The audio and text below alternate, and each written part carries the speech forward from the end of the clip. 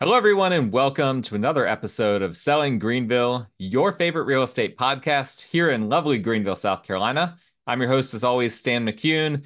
Joining with me, co host Joel Mangin. Um, and this is going to be a pilot episode for Joel um, co hosting as we discuss market stats in the Greenville area. So I'm excited for that. Uh, but usual housekeeping that we got to do first. You can find all of my contact information in the show notes if you need to reach out to me for any of your local real estate needs. And I don't know why you would need to reach out to Joel, but if you need to reach out to him as well, reach out to me and then I'll connect you. I'll connect you with Joel. I don't think you'll need to reach out to Joel though. Um, but um, uh, just a reminder, as always, as well, please like, rate, review, subscribe.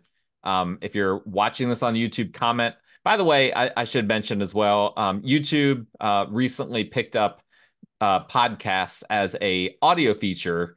If it's confusing, if you're wanting to watch the video for this, um, there is a separate track for the video. Um, it's all in my same Selling Greenville Pod uh, channel on YouTube. I'm still figuring out whether there is a way for me to not have those be two separate entities. I'm not sure if that's a possibility, but there is now a separate audio and separate video for every podcast on YouTube. So make sure that you actually search for the video if you're wanting to look at all the cool charts that we're going to be looking at today. But as I mentioned before, uh, I have Joel Mangin on the show with me. Um, Joel is a longtime friend, also business partner. Um, and uh, yeah, we go back a long way. So, Joel, welcome to the show. Thank you so much, Stan. It's uh, it's an honor to be here. Thanks for the kind introduction and uh, I'm excited to talk about stats. So let's get yes, stats are so very exciting. Um, and uh, yeah, I, in case the audience is wondering, I I really felt like uh, you know this would be a good opportunity to kind of mix things up when it comes to this episode. This is an episode that I do every month. The Greater Greenville Association of Realtors produces really great data for us every single month. Um, but talking through data sometimes can get boring, sometimes can be dry. So I'm hoping with Joel, maybe this will make things a little bit more interesting, maybe mix things up a bit. So I'm just going to dive right in here. And we're going to dive right into the data starting with new listings. Now, new listings were there, there's a lot of very interesting stuff when it comes to the new listing data. I just want to point out a few things real quick. First off, year on year for the month of April. So I'm recording this May 24th. Unfortunately, we just got this data just a few days ago, so I wasn't able to do this earlier. So I apologize for that. That was um, just a, a, quirk with when the data was released. But we're looking at April's numbers, even though we're here at the end of May.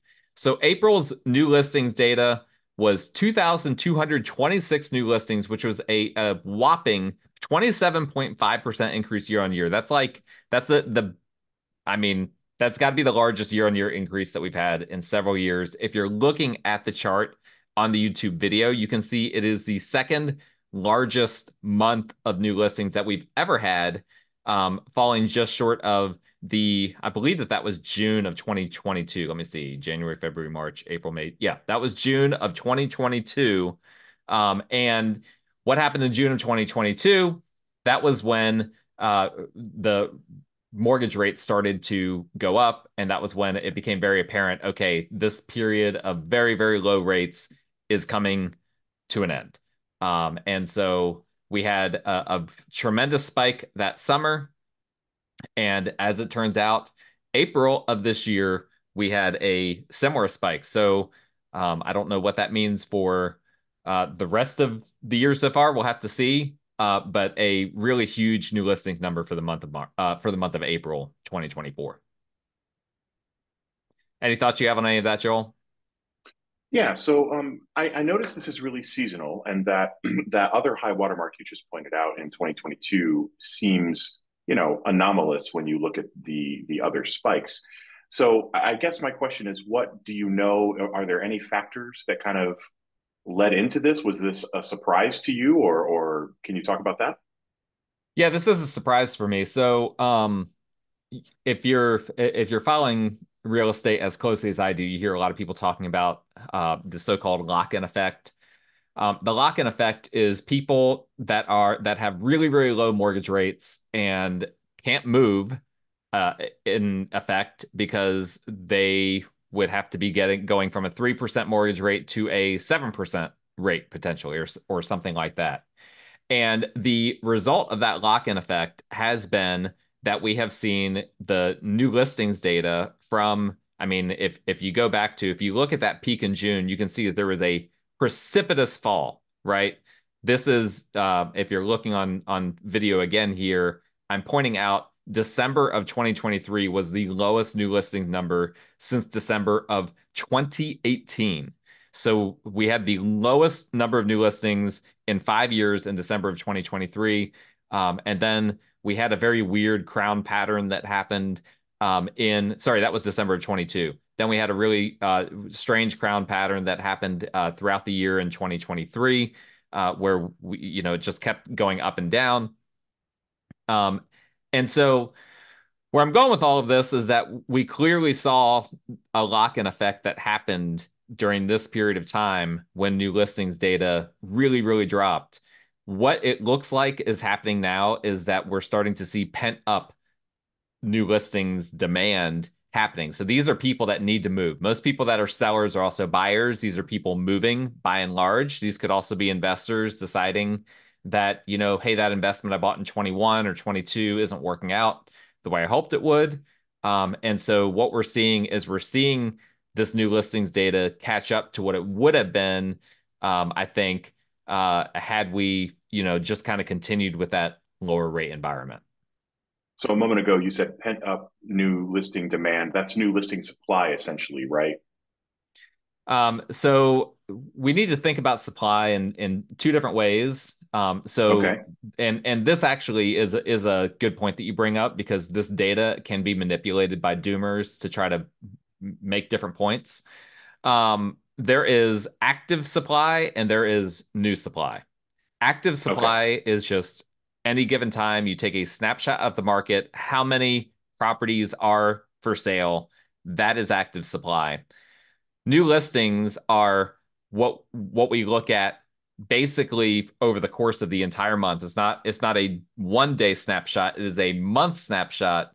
How many new listings came online during that month? So so that's a really important detail because just because new listings skyrocket doesn't necessarily mean that supply skyrockets, right? Because it can be offset by demand. If new listings increase dramatically, likely demand also increases dramatically and that's something we'll we'll talk about here in a little bit. So let's go ahead unless you had any any other questions do you okay let's go ahead and move no. on to the next one which is pending sales.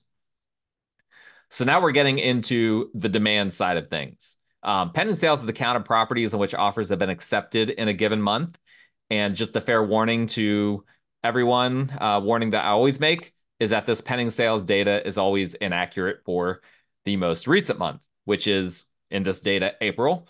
Um, so I'll come back to April here in a second, but we got to look at the March data. The March data was down. Pending sales were down 6.3% year on year. It was uh, 1,425 pending sales versus 1,521 uh, in March of 2023. So that was a minus 6.3% increase or 6.3% decrease. Um, so that is something that I don't think is particularly noteworthy. We had had several months of increases, but those increases had been going down. So November was 10, a 10.8% increase in pending sales, then December 9.8, then January 5.8, February 5.4, and now we have a a decrease in pending sales. And and the short reason for that, and I kind of prepped this before uh, last month's episode when we went over this, was that March was just a massive, massive month last year. So we're comparing against a really, really massive month.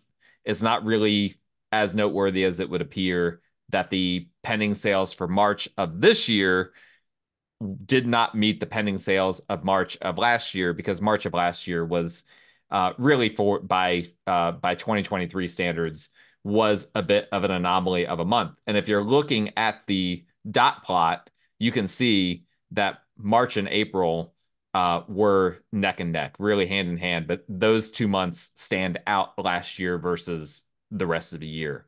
Um, so we so we had fewer pending sales, fewer homes going under contract March of last year. Um, but uh, I'm I'm not drawing any major conclusions about that what that means for the market.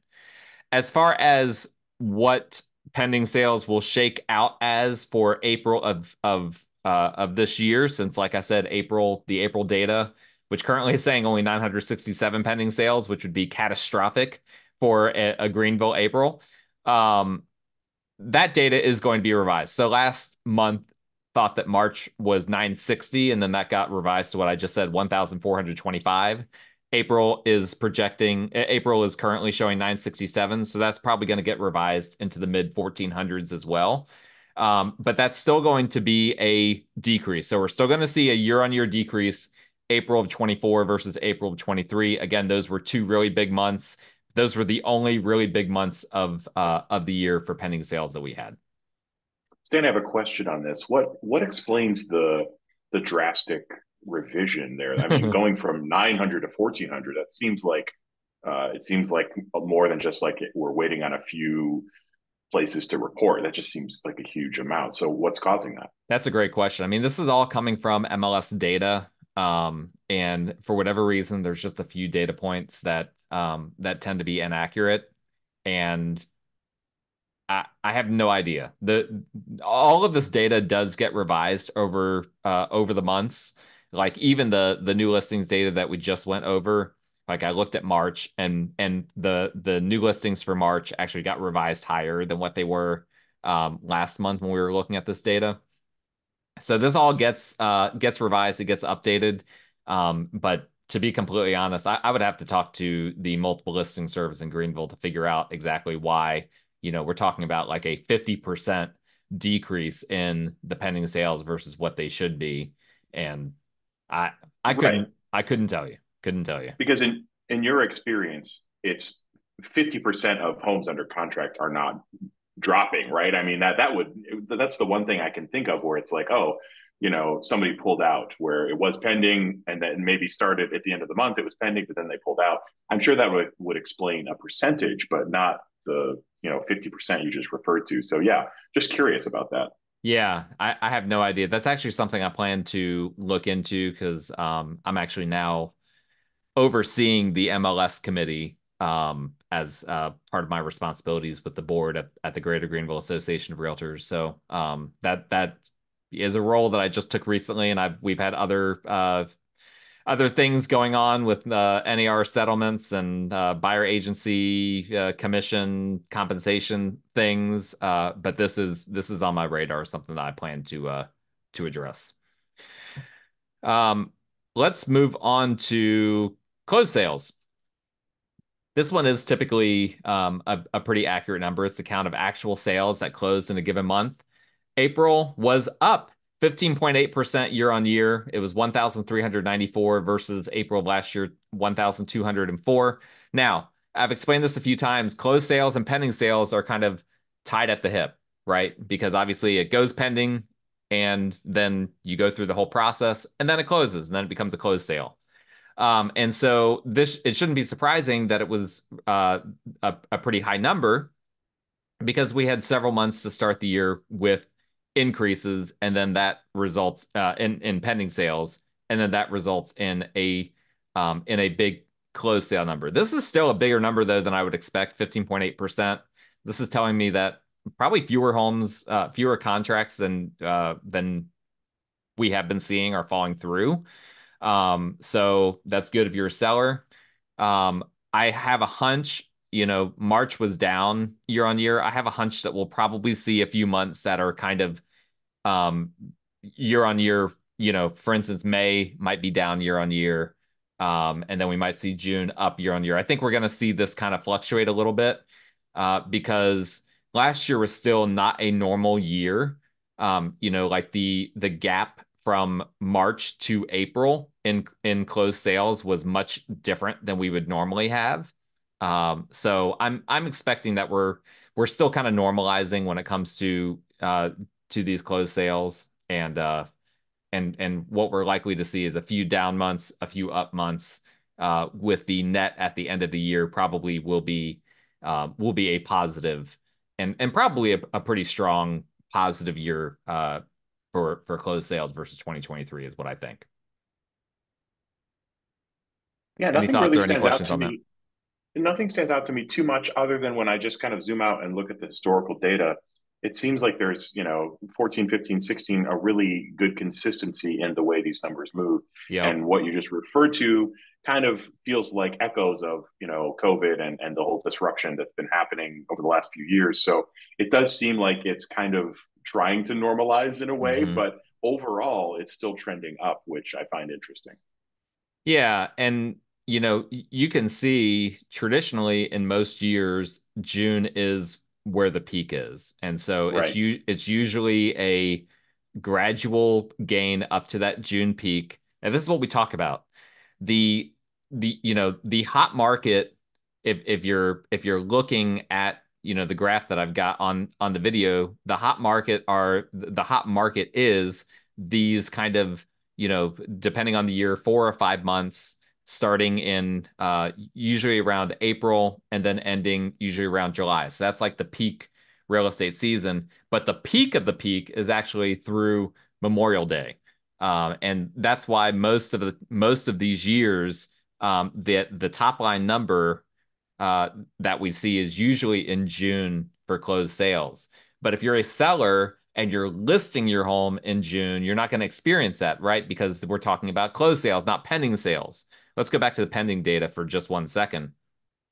Um, the pending data, you can see oftentimes peaks much earlier. So this is um, in 2018, it peaked in March.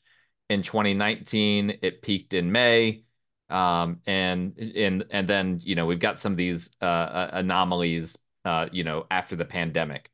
Um, last year it peaked in April.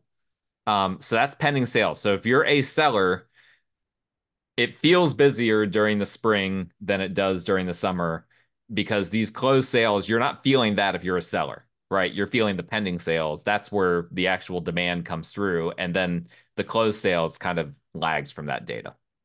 So just a quick follow up to that, Stan. If I'm if I'm considering selling in the next year, should I just wait until that you know spring of the next year? Is it is it worth waiting to hit that that peak, or or how does that affect my strategy?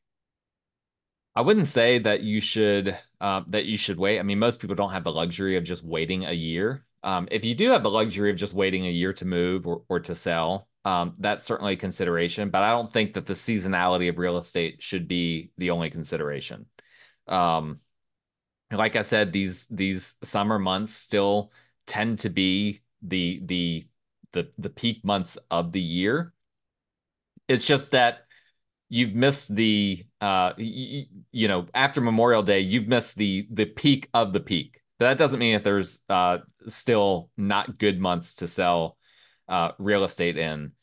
Generally speaking, where where sellers really start to feel things like feel really slow and and particularly the past couple of years is that fourth quarter. That's when we have really seen, you know, that's when all those holidays are coming through, that's when all the kids are in school, all of that that's when you really start to have to start making difficult decisions. Do I really want to put my home up for sale during the fourth quarter when we know that this is the slowest time of the year or do I just want to wait another few months and try to capture some of the some of the spring wins of the next year.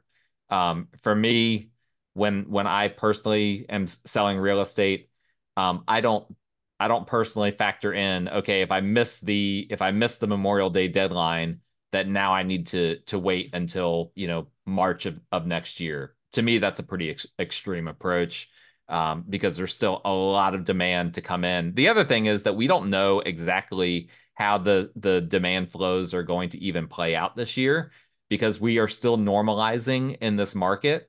And you know, just like I I just showed with some of these, um, some of the peak months um, in the past four years have been different than what they were in previous years. So could we see a scenario in in which we have an, a busier than normal June or busier than normal July? Absolutely. We just we just don't know. We can only look at historically and and make some some predictions. We know for a fact that some demand comes out of the market um, after Memorial Day. Um, how much of that? It, it's it's hard to say. I, I think I, I like what you said there because I shouldn't be trying to optimize, you know, and it's not like like you mentioned, not everybody has the choice or the opportunity to optimize in that yeah. way, but it's more about finding the best option with the best real estate agent and the best presentation for your home and for and for your situation um, and that's what really matters on a granular level whereas looking at this data you can't really work backward from it because this is just more you know almost like random noise in a way yeah. uh, regarding and if you if you're looking at it through the lens of one one person and real estate like like the stock market. Th- this, of course, isn't an investment advice. None of nothing that we say in this podcast is investment advice. Um, but real estate, like so many other things that are classified as investments, the same adage applies as it does for other things. You cannot time the market. You just you can't. Like people try to to capture lightning in a bottle by timing the market. It doesn't work the market might crash next year. What if you hold out? What if you say, well, you know what? I want to capture the the spring, you know, busyness of next year. What if rates go even higher? What if we have eight and a half percent mortgage rates and all of these numbers are way down next year? So that would be uh, again, we have a known commodity uh, right now, and the market is doing pretty well overall um, for both buyers and sellers. You know, it's not too crazy of a seller's market um, and it's it's not a buyer's market, at least not according to this data. Um, but it's a slower seller's market than what it has been. Um, and so uh, I, me personally, I, I would rather take what I have now versus hope for something uh, in the future. All right, moving on to the next slide. Days on market until sale. Um, days on market went down 11.1%. So we went all the way down from April of 2023 was 54 days on market. We went all the way down to 48 days on market in uh, April of 2024. So back down to the 40s for the first time since November. Now that great data if you're a seller, right? You're selling your home more quickly. If you're a buyer, that's not so positive. Um, although 48 days is still substantially better than when we were hovering around 20 uh, for multiple years between 2021 and 2022. Um, so um, it's it's interesting um, that it's you know all of these trends are trending lower than what they were a year ago. And so even though I keep hearing people saying that they feel like the market is shifting more towards the buyer's market, a lot of this isn't captured in the data for a variety of reasons. I've been waiting. I've been waiting on this days on market. Uh, you know, these numbers to push back up to what they used to be, right? Because if you look at pre-pandemic, we would consistently have peak months, um, typically at the beginning of the year, would end up being in the 60s or even higher. Well, we haven't seen uh, the 60s in quite some time. We came really close um, at the beginning of, of 2023. Um, I believe that that was uh, hold on, let me see here. Yeah, that was 58 that we hit in in March of 2023. So we got really close to hitting that 60 day marker. Um, but now we're back down into the 40s. So homes are still selling relatively quickly um, in comparison to you know historically what what has happened even if it doesn't feel that way uh, for for sellers right now because they're comparing they've got recency bias they're comparing to you know a lot of people selling now bought three four years ago when uh, when homes were selling overnight basically you know the the sign would go in the yard and it'd be under contract within five hours kind of thing. The market is not like that um, but it's also it also hasn't gone back to what it was pre-pandemic where you know you could take a few weeks for a property that was unique and and was in a hot area, you could maybe take you could maybe see it one weekend, let the the week go by, and then look at it the second weekend, and it would and it would still be there.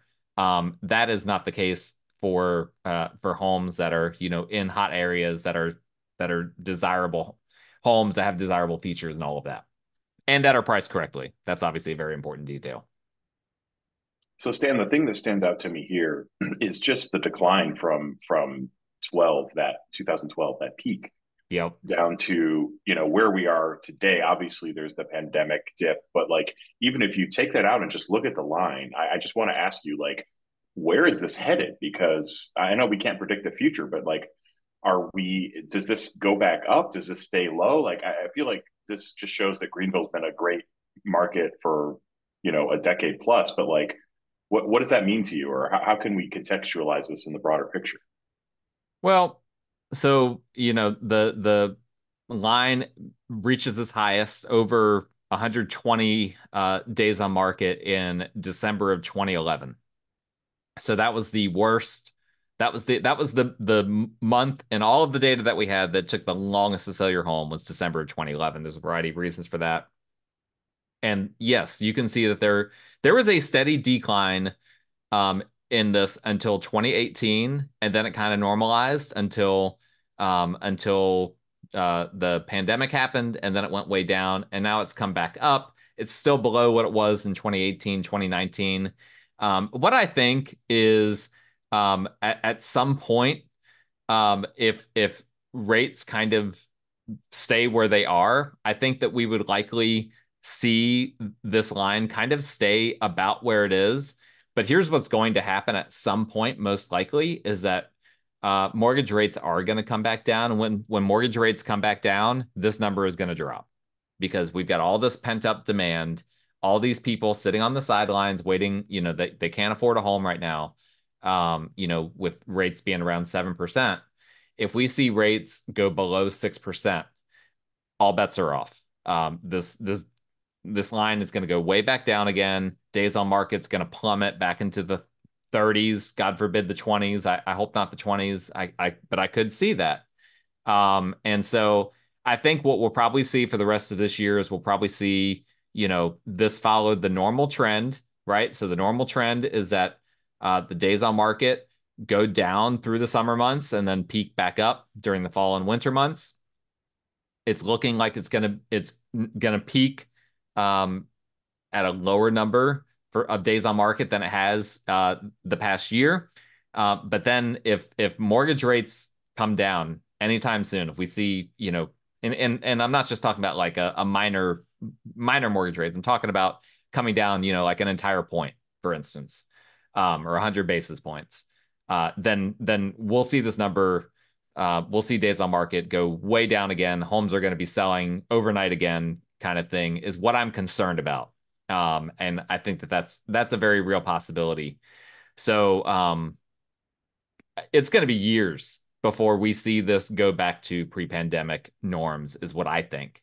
And what I think will be required for us to see that is once all the demand from the baby boomer generation starts to dwindle because they are really propping up so much of the of the housing market right now from a demand standpoint the you know the most active you know purchasers of real estate in their 60s to 80s that we have probably ever seen. Um, and so uh, but census data indicates that by the early 2030s that will pretty much be done. Um, and so i think you know we might be a few years away we're, we're going to see this go way down but then we're a few years away from it going back up. And then at that point you know we'll probably see something that resembles what it looked like you know five six seven eight years ago so I, I picked up on two things you said there. The there's a pretty tight correlation between uh, interest rates and this days on market number. And then you kind of mesh, mentioned the pressure that the the boomer generation is kind of still active in a way that's that's re, uh, significant, right? So, yep. um, those things I heard, but what what you also mentioned in there was you hope the number doesn't go back down to twenty.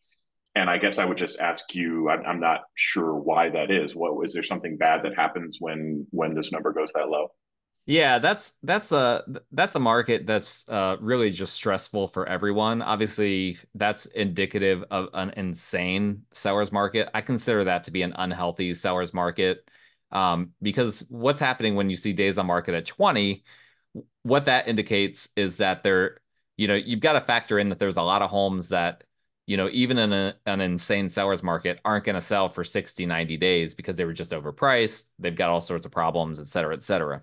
So for all of that to average out to 20 days on market, that means that a huge portion of the market is selling within 24 to 48 hours, maybe even less than that. Um, that's stressful for buyers. I can't tell you when when the market was like that, how many times I would show up at a home to show it and would get a call from the you know the listing agent, hey, we just went under contract. Um, and it was like, I mean, in some cases I had driven like an hour to to show that home and only to find out that it had just gone under contract. Um, that that was the market when buyers might have to put in, you know, seven or eight offers before they get one accepted. And sellers, um, even though, you know, it's kind of fun uh, in a sense to to experience that, it's also kind of stressful too when when it's that constrained of a market. Things are selling that quickly, there's that much demand and that little supply, which is the only thing that causes that kind of dynamic you're having to have a ton of showings in your home. Um, you can't discriminate against showings. Like once you list your home, MLS rules are you have to allow showings.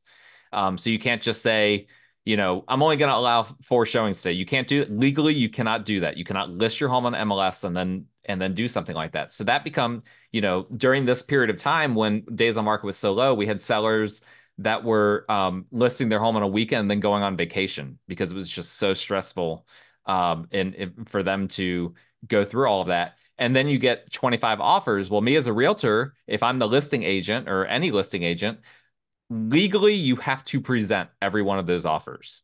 Well, that could be a four hour conversation, depending on how much detail you go into and and and all of that. That's also kind of stressful. So it's just a it, it is uh there's there's a lot of reasons why nobody really likes the market to be that intense. It's just a bit much, uh, really for all parties involved, but particularly for buyers, but but even for sellers as well. Even though they once they get to the end of it, they're really happy.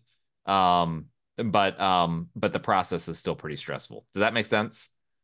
Yeah, that clarifies a lot. Thanks for explaining that. Yeah. So let's move on to median sales price.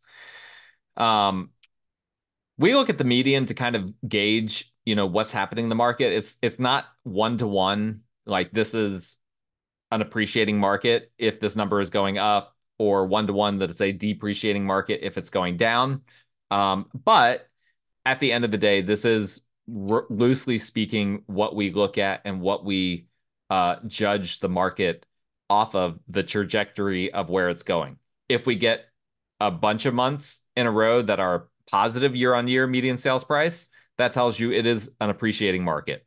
If we get a bunch of months in a row with uh, negative year on year, then that is uh, generally speaking a depreciating market. So you got to look at this uh, data as a whole. You can't just look at it one month at a time. Um, but that being said, let's look at one month for now, and then I'll I'll put some uh, some flesh on the bones here. April's median sales price was exactly the same as March. We are at 310,000, which is interesting. So no month on month increase. Um, not that uncommon. Um, if you know, if you look at past years, you can see that there will be even month on month decreases. So we're likely to see that this summer as well. We're likely to see some months that go way up and then some months that that uh, recede from that.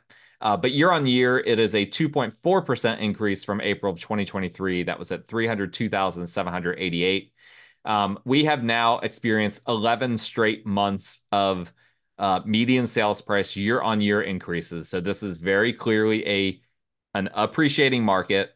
Um, although the appreciation has slowed a bit, right? So we've um, we've now had uh, going back to December of last year, we've had five straight months of uh, of uh, the rate of of the median sales price going up has slowed down. So December was 6.7, year on year increase. January was 4.2 down to February 3.2. Um, March actually March went up a little bit to 3.4, but now April is back down to 2.4 percent. Um, but this is a pretty this is a pretty healthy number. Like if we saw 2.4 percent appreciation in the Greenville market, most people would be very happy about that. Sellers are still seeing gains. Like yeah, you might be hearing that and being like, well, that's not good. And compared to stocks and compared to the S&P, you know, all that kind of stuff. Well, yeah, real estate's not stocks, right? Um, it doesn't appreciate in the same way that stocks do. It's also not taxed in the same way that stocks are. Um, but I think most people would be happy if we stayed in that 2.4% range. I don't think we will. I think, uh, you know, I think we're still going to see uh, see increases that exceed 2.4% here in future months. Um, but that's where we are right now. It's an appreciating market, but it's not an appreciating market like we've seen some other times where we've seen the the year on year percent. You know, back during the craziness of COVID, some months might be 15 or 20 percent. Thankfully, we've not seen that. Stan, my question on this one is how this seems like a really kind of high level number that's that's um, a good way to get a, an overview. How much has the recent inflation that we've been seeing, kind of like at the grocery store or et cetera, does that factor in here at all, or is this kind of able to kind of smooth that out and and be separated? That's a good question. It's not; these are not inflation adjusted numbers. So you could make the argument, certainly, that the 2.4% year on year increase is actually a net decrease if you factored it in for inflation. This is an argument that some people have made, and um, and you can't refute that argument, right? I mean, if you just have your cash in in the bank, um, you're generally speaking, even if you've got a a money market account that's you know bringing you four and a half percent, whatever, um, you're you're still generally speaking losing out versus inflation. Um, so these are not inflation adjusted numbers. You can you can find that number for the national market um, in uh, in other places. We don't analyze it in that way in the uh, you know for this Greater Greenville Association of Realtor statistics. Um, but uh, but yeah, does that does that answer your question on that? Yeah, I think so. I think that's kind of what I was getting at. I just wanted to know like how how that played into this, and it seems like it's almost like a separate you'd have to run a separate uh, comparison to kind of get that number yeah you have to create a whole model in order to mm-hmm. uh, in order to create inflation adjusted numbers which is well above my pay grade because i'm not an economist um, but uh but people that really want to get into that um, i believe the federal reserve has some of that uh, has some of that data out there there's also data that's produced by um, uh, HousingWire has some really good stuff like that out there um, uh, yeah, a, a few sources like that where you can you can find some of that if you really want to look at okay, what months uh, do we see true inflation adjusted increases versus what months are we just seeing standard appreciation? Uh, but the important thing for people to know as they look at this is um, most people when they think of home home prices they don't think of it in in inflation adjusted dollars right all they think about is i bought or or these people bought this home in 2019 for two hundred thousand dollars, and now they've got it listed for uh for three hundred thousand dollars, and that seems insane to me. That's that's the way people look at it. They don't ever analyze the data based on inflation. Um, hardly ever. Only only the experts do, uh, from what I have seen. Um, and so we look at this on on more of a high level, and for most people that works.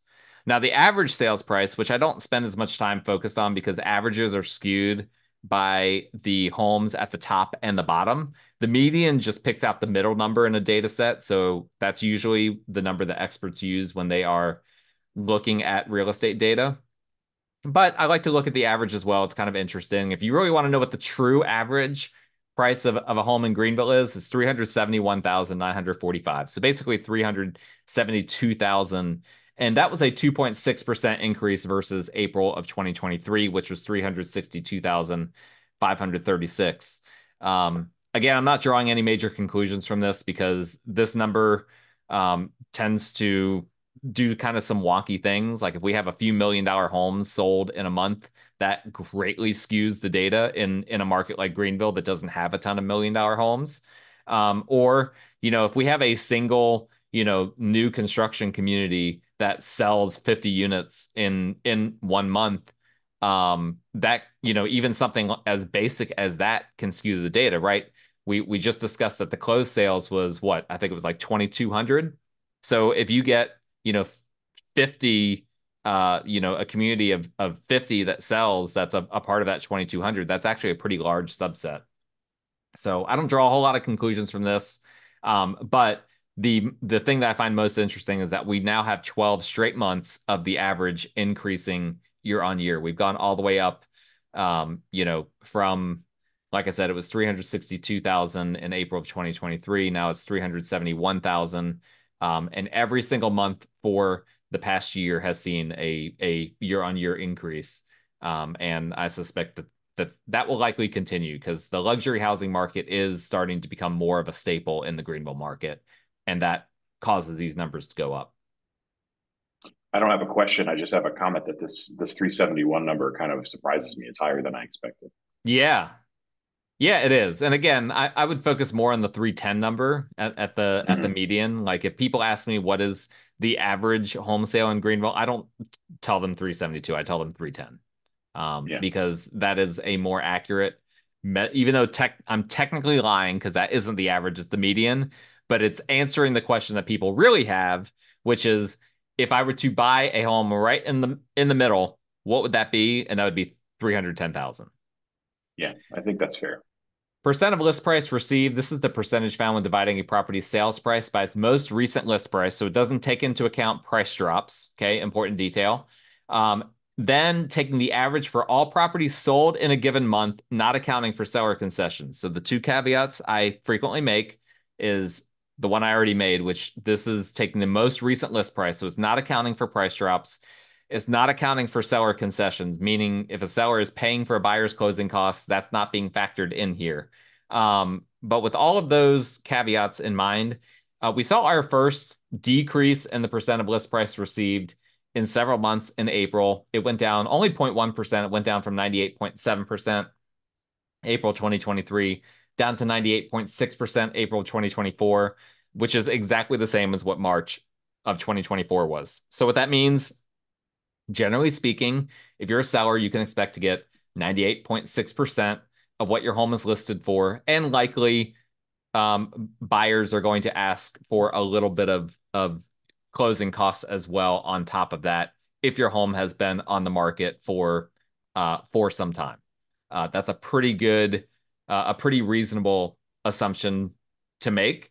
Um, and these numbers are are really um, are, are some of the most normal numbers on here, right? These numbers are real close to what we saw in 2019 uh, and and in 2018. You know, before things kind of got out of whack during the pandemic.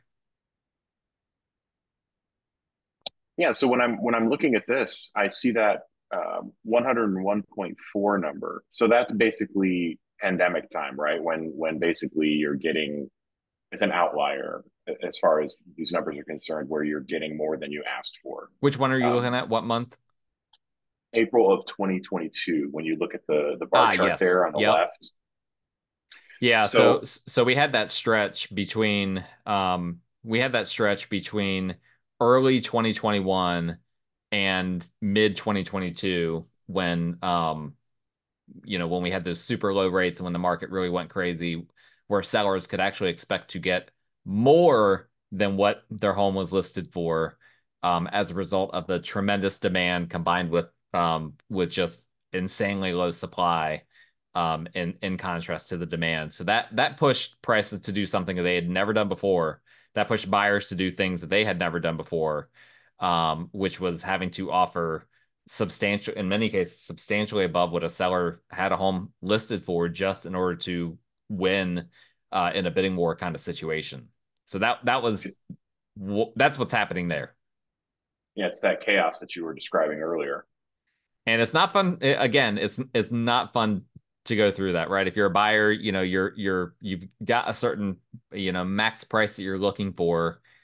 Now you have to factor in also you're going to have to go above whatever you know the seller has the home listed for pretty much guaranteed no matter what you end up making an offer on um, it just creates a lot of complications. And so um, this number 98.6% that's a very comfortable number for me for for most sellers for most buyers. Most sellers expect to get a little bit less than what they've listed a home for and that is the way the market has normally worked.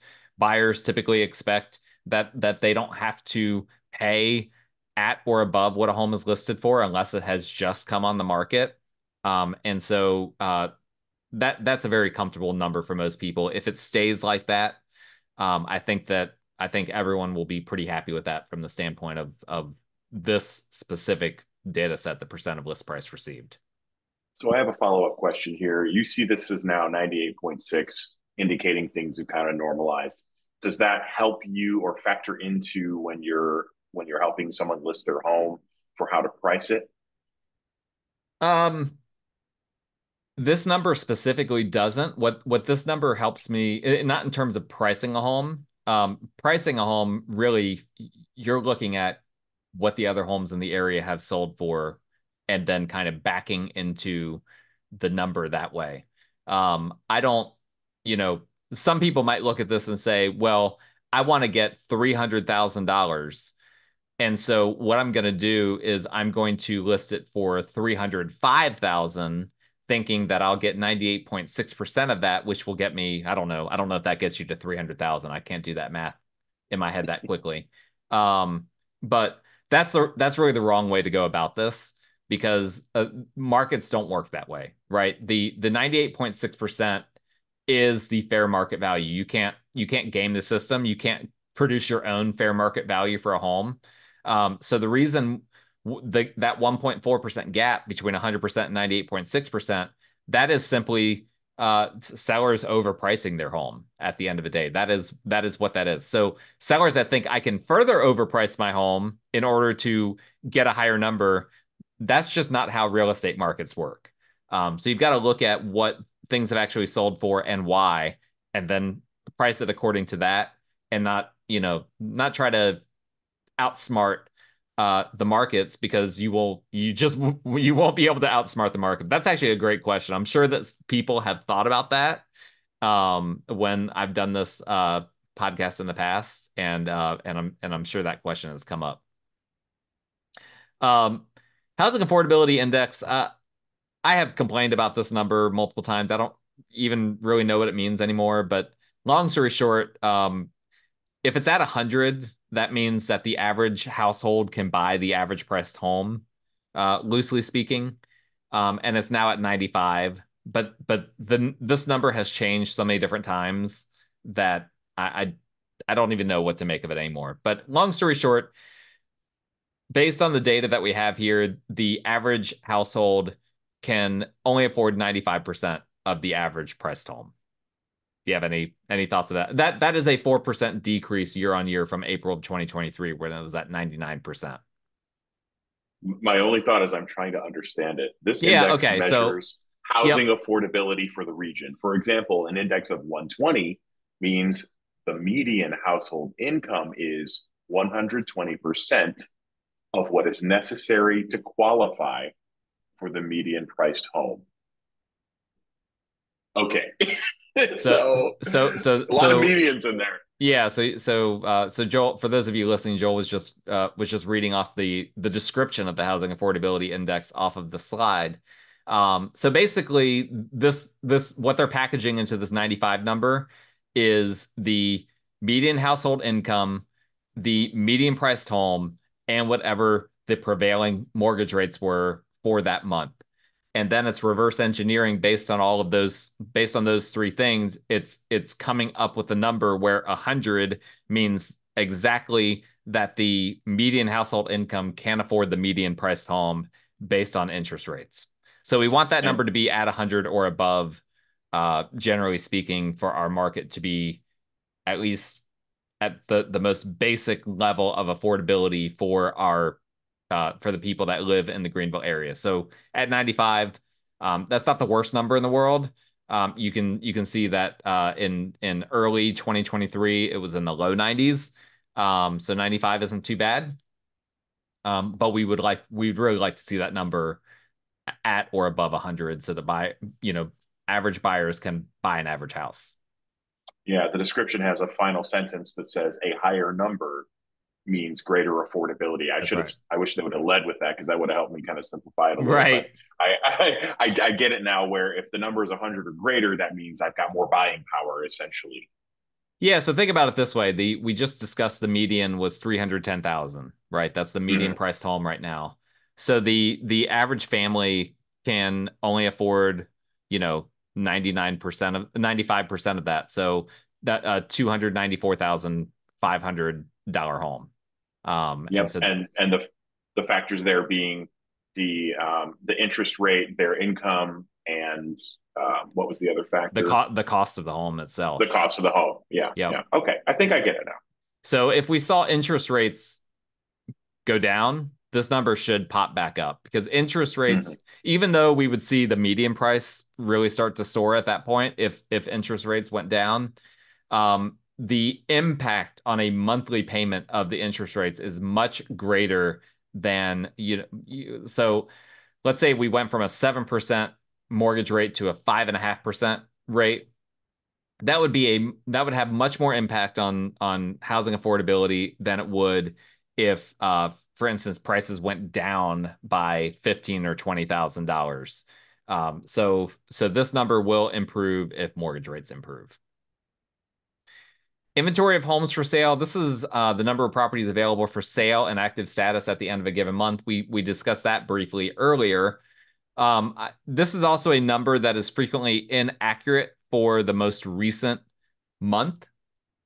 So, for instance, March, uh, when when these stats came out last month, March was at four thousand two hundred fifteen. That got revised down again by five hundred, basically down to three thousand seven hundred twenty eight.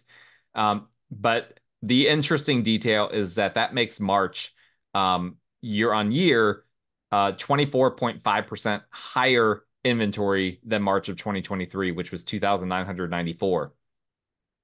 April came in at 4,493. That's probably going to get revised down into the the you know 3,900 range. That will also be a massive increase from April 2023. That was 2,896. This is one of the most eye popping numbers that I'm looking at here because what this tells me is that we are now at inventory levels that are pretty much right on par with what we saw uh, pre pandemic.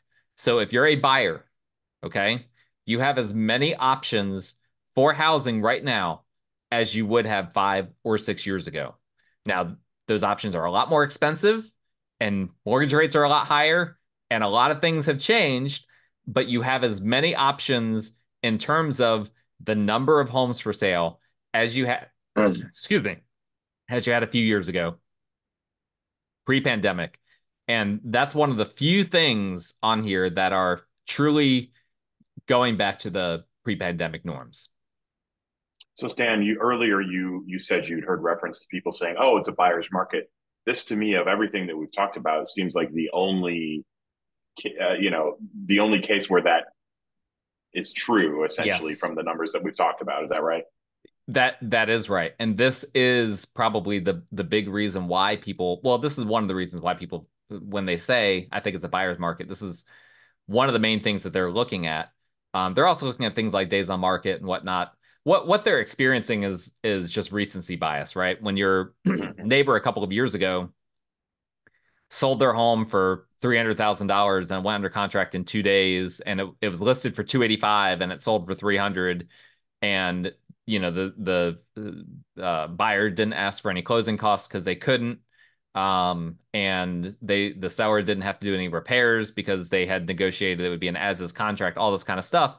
And now here you are in 2024, a few years later, and um, you you know you're listing your house, your neighbor listed their house for 285 and sold it for 300. Well, you're looking at comps and and you're still think, seeing, well, my house might only be worth 310 uh, based on the comps, maybe 315 and it's it you know you list it for 315 and then it takes several months to sell and it only sells for 305 and um and you know then the the buyer asks for you to do repairs and all of that you're comparing that to when the market was the unhealthiest and the most extreme sellers market that it has ever been so that's not a fair comparison um that's not what constitutes the buyer's market isn't the uh, normalization of the most extreme sellers market of all time. It is all of the data, even even if you go back to this period of time that we're talking about 2017 2018 2019 that was still a seller's market okay people forget that it just wasn't people uh, uh, have in their mind that a seller's market equals what 20 uh you know 2020 mid 2020 through mid 2022 was that is hopefully never going to happen again. Hopefully, we'll never see a seller's market like that. That is the extreme of extremes when it comes to that. Um, a seller's market is simply when demand outpaces supply. That's all that that is. Demand outpaces supply. Um, and historically speaking, when we have around in Greenville around 4,000 uh, ish, uh, 4,100, 4,200 homes for sale, that's traditionally still a seller's market. Now, it honestly is even more of a seller's market now. There's more demand in the market now than there was back in 2018, 2017, 2019. How do we know that? Well, look at some of these other things that we've looked at. Look, pending sales, we've already talked about that, um, are generally speaking higher than most of these years were. Closed sales, generally speaking, higher than most of these years were. Now we'll have to see the way the rest of this plays out. Um, and again, demand is being suppressed right now on the basis of um, of these higher rates. There's there's pent up demand uh, that I've referenced now a few times, but um, but here we are, you know, with with inventory at similar levels to what it's been a few years ago. You should not confuse that with a seller's market, uh, or with a sorry, with a buyer's market. Um, we're not there yet. What would it take for us to get there? Uh, we'd probably need to start getting into the high fours. Is is what I think. Um, so again, this the the April number is going to be revised down. It's it's currently saying 44.93. Um, that's going to get revised down into either the high threes or the low fours. Um, so in my opinion, we're nowhere nowhere near what it would take for this to be um, technically speaking a true buyer's market. Yeah, what you're describing would be a 25% increase over where we will yep. be revised down to, which is just massive, right? Yeah, exactly. Um, so we're not there yet month supply of inventory. Um, got to be careful with this one because this is dividing um, the inventory of homes for sale, which I just said is inaccurate for the most recent months, by the pending sales from the last 12 months, which I already said is also inaccurate for the most uh, most recent months. So the April number of 3.6 is not going to be accurate. So it says it's 3.6 months supply of inventory. That's going to be wrong. That's going to be revised back down. Um, mostly, it'll probably be revised back down to somewhere between three and 3.2 months supply of, of inventory, which will still be a big increase year on year. But let's look back to March of 24. Um, this number should be accurate by now. So it was 2.9 months of inventory, which was a 26% increase year on year over March of 23, which was 2.3 uh, months of inventory. So this is also an indicator of of the pressure relief valve for buyers that there is more months supply of inventory. Now, historically speaking, being in the low threes, which is what that April number will get revised to, um, that is still historically a, a pretty low number, but it's starting to get pretty close to what the pre-pandemic numbers were. Um, and so uh, that that's again something that buyers should be should be happy about because this does factor in the demand side of things. Now, again, once rates go down, I suspect that month supply will will go back down as well, and it'll be a little bit more of a constrained market as well. Um, but that's not something that we have to worry about most likely for several months, if not a year or or more. The the way things are looking at the moment. So, a question I have here is I know we've kind of established that it's not really a true buyer's market, but does this indicate that like if you're able to swallow the higher price or or manage that and manage, you know, if you're willing to accept the the higher interest rate that that we've been experiencing recently, does this mean like, hey, it's a good time to go shopping and look around, or, or how do you how do you see that fitting in here? Um, again, um, if if you're a a buyer in this market you've got to think about what do you know okay? Don't don't focus too much on the unknowns because a lot of people have gotten hosed trying to focus on the unknowns trying to trying to time the market. A lot of buyers have been waiting for these mortgage rates to come down. Well guess what? As the mortgage rates haven't come down we've seen prices continue to go up. That's what we just looked at with the with the median price point. So for those that have been waiting for the past year um, things are less affordable now than than they were a year ago. Um, so I personally prefer to focus on a known commodity. If you need to move, um, you know, a, a common phrase that people say is marry the house and date the rate. Okay. What that means is um, buy the house that you love. If you have to hold your nose with the mortgage rate because mortgage rates are temporarily high and the Fed has told us it is temporary, whether you believe them or not. Um, and and so you date the rate. A couple of years from now rates have gone down a point one and a half points two points whatever the case may be. You've already got the house that you want. Now you can refinance now bring that payment down you know it, and make it more manageable. Hopefully your income has also increased during that time et cetera et cetera. Um but that's generally speaking and again generally speaking good advice for people is marry the house date the rate um, and, you know, again, if you waited for those rates to go down, my fear for buyers is that they've waited too long, right? It's like it's like waiting until you know um, un- until the the day before Christmas to get in your Christmas shopping, or or waiting. Maybe a better example is waiting until you know the day of Halloween to to find your Halloween costume. It's too late, right? The the the holiday is upon us. Everyone's already picked on picked at everything um, it, it, you, you're you're too late. You're really going to struggle. By the time the rates have come down, now all of that pent up demand, uh, you know, it gets washed into the market, and now you're going to start to see those more extreme bidding wars. The the all these other things we've been talking about that have started to normalize are going to become not normal again, is what I predict. Um, and and so I'm I'm a bit wary of you know waiting for additional normalization uh, because I I think quite frankly that uh, that we're this the way it feels right now this is probably about the best that it's going to be for for quite some time uh, for buyers. It's really interesting the way that you kind of uh, your guidance that you're suggesting here because like for me when I look at that you know as someone who's less experienced I'm like oh it could be good but like yeah that tendency to want to time the market it, it, you've you've you've identified as you know really problematic. So I, I like the fact that you know what you're focused on is like getting making sure there's a good fit and making it work with with what we've got with what we know. Yeah, and and you know I, don't just say this as a realtor. Like I practice what I preach.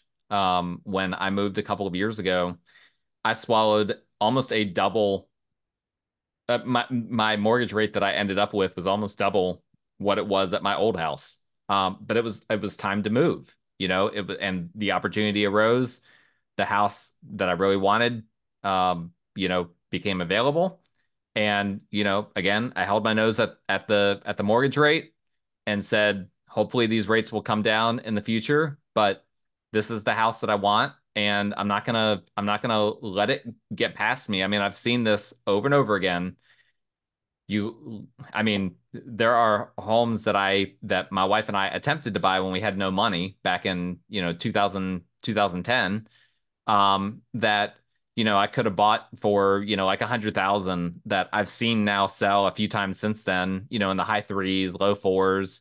You know, like this is this is the way the Greenville market is We've got 22 people per day moving here, and um, and that just creates a stable baseline of demand that um, that ultimately causes prices to continue to go up.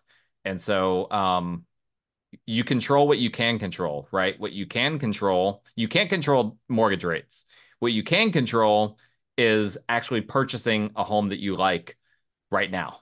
Um, and so generally speaking, that's that's good advice for for most buyers.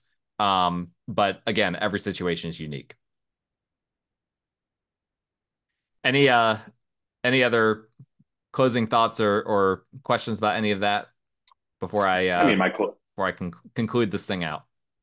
My closing thoughts are this is a lot of fun. I, I learned a lot I, I, feel like there's a lot more I have to learn. So it, for me, it was really good to kind of get in there, kind of see what these numbers were about, but also see the pitfalls that are there. And I think you yep. you guided me through that really well, and I appreciate it. So thanks for having me on. Yeah, thanks, Joel. Really appreciate it, and thank you guys for listening or for watching. Uh, reminder: if you like this content, please like, rate, review, subscribe. Particularly subscribe um, so you don't miss it in the future. Whatever podcast app you're using. Um, if you're watching or listening on YouTube as well, same thing. And uh, if you need a realtor in the Greenville area, I'm your guy. My contact information is in the show notes. If you need to reach out to Joel, reach out to me and I'll connect you with Joel. And uh, thank you guys once again. And we will talk again next time.